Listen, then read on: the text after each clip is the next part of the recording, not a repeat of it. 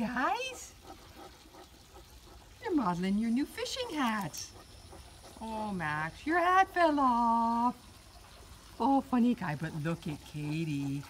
Katie, you look so pretty in your hat.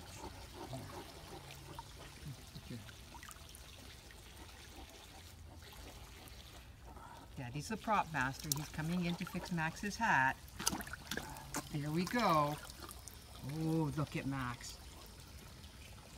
Max, you should be the Columbia ad guy. You're so handsome. Look at the two of you.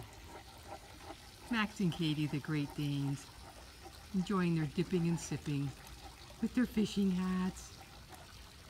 Either that or they look like they're going to join the French Foreign Legion. We're not quite sure yet, so.